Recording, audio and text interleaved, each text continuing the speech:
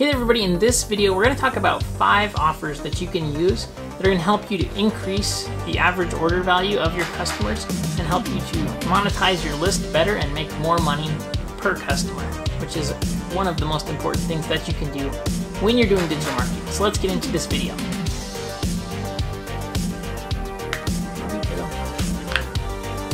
How's it going everybody? My name is Brandon Breshears and this is the Digital Marketing Madman channel. I make daily marketing videos, so if you're interested, click on this M right here and subscribe.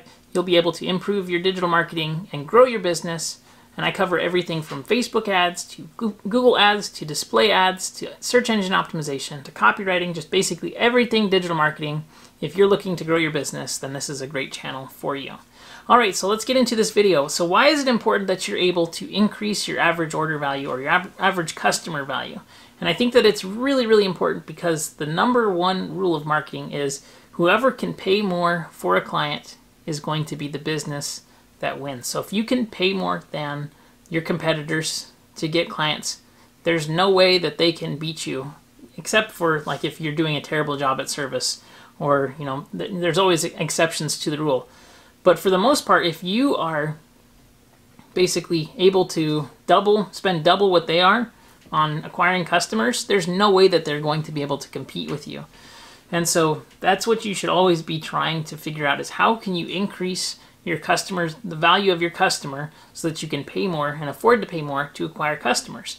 Especially as digital marketing becomes more and more competitive, this becomes even more important because it's going to help you to dramatically increase, increase the ROI and the return on ad spend that you have going out. So um, it's just incredibly important to figure out how can we get more out of our customers by serving them more, serving them better, or just figuring out kind of what they're looking for when they're buying from us. So let's go over these five very simple but effective ways that you can increase your average order value. The first one is cross sells, and Amazon uses this all the time. Anytime you add products to cart, um, if you take a look below the Amazon listing, you'll see that it says customers also bought this product with it. And this is just one of the smartest ways, right? Using social proof to show related items that may work well with what they've just bought, or it's more of what they're looking for. So when you have a customer who's buying things, they're telling you what they're interested in with their money, which is the best way to figure out what they're actually interested in. It shows you what they're what's really important to them. Now with cross sells, there's two different ways to approach this. You can be approaching people as they're in the checkout process, and that's definitely an interesting thing to check out and to test. But you can also do it in the after purchase state, where they're receiving an email for an order status update or an order confirmation.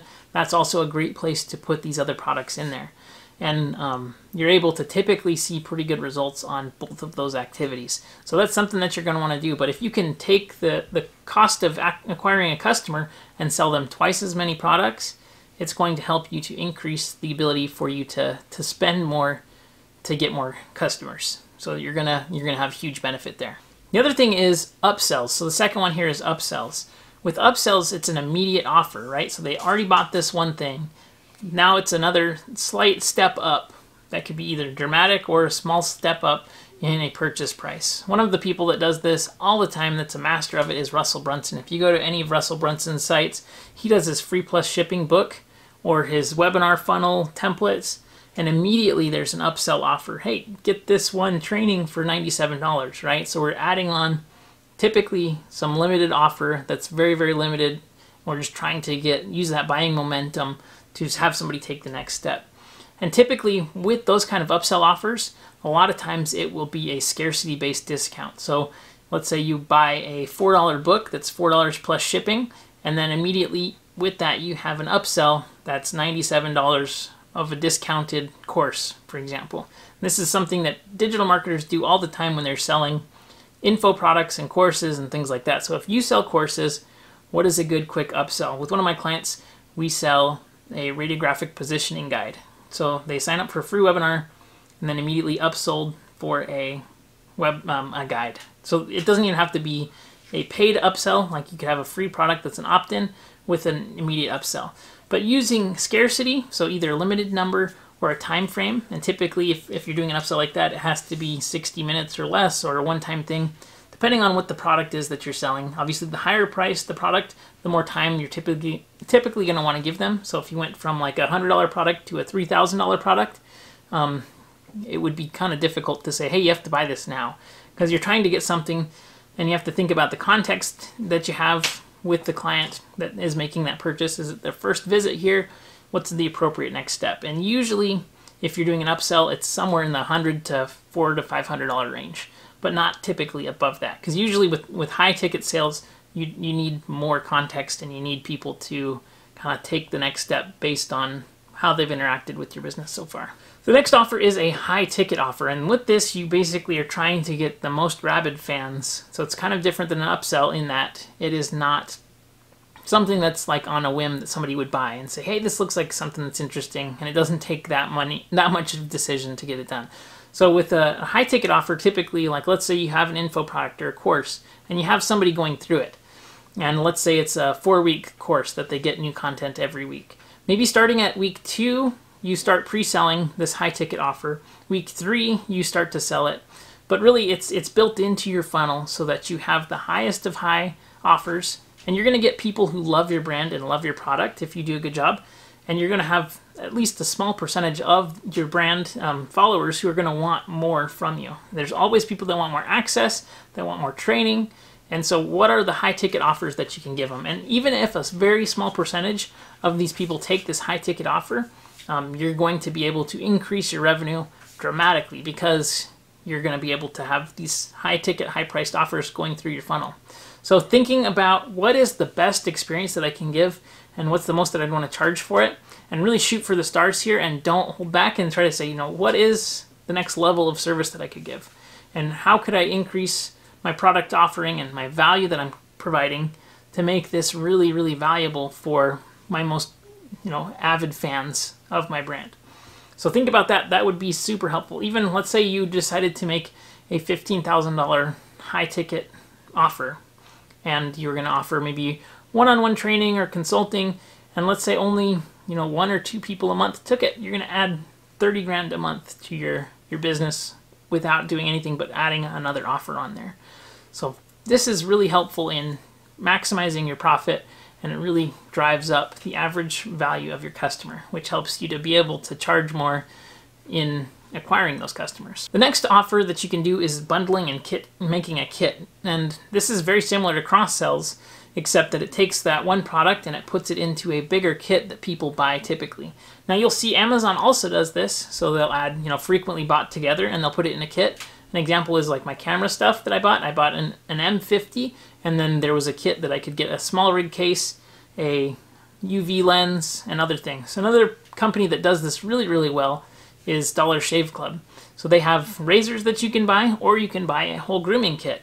And the grooming kit is typically a package and it looks really affordable, right? The razors might be $4.99 and the grooming kit might be $12.99 and you get all of these other things.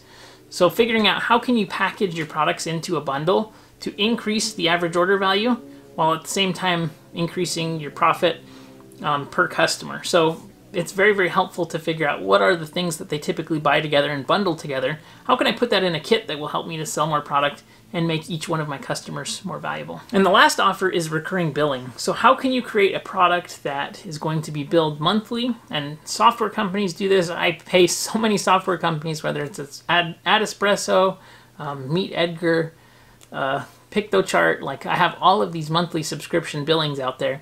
And it's a really good way to build stable income. So if your business has some kind of software that you can create, or some kind of access or coaching program or mastermind or weekly webinar, what is it that you could do to add value to keep people consistently in your funnel, consistently consuming your content, but at the same time get paid for it? So what this does, is it allows you to add um, automation to your business. It allows you to segment and identify customers that are paying you to get your information.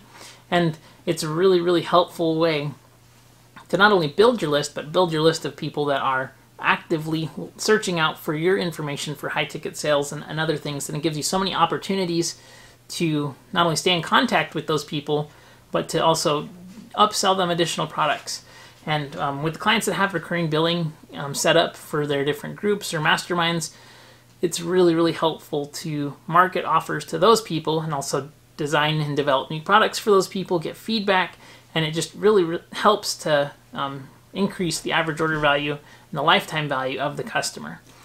So I would love to know what is your favorite profit maximizer. Comment below with your favorite one. And if you need any help with any digital marketing things, please just comment below. I'm happy to help and would love to give you ideas or make additional videos. So if you want me to make any other videos, you have some topics that you'd like me to cover, comment below with those. Hope this was helpful. If you liked it, hit that like button and please consider subscribing. Have a great day. I'll see you on the next video.